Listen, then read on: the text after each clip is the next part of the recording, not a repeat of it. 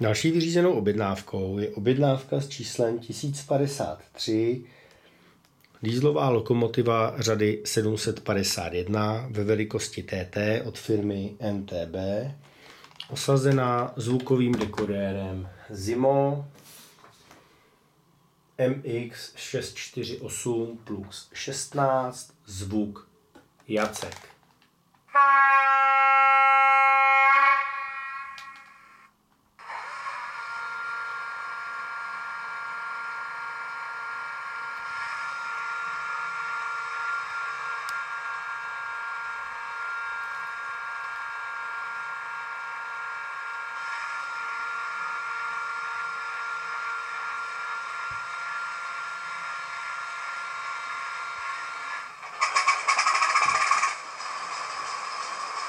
Bylo patrné po zasínání světel při startu modelu.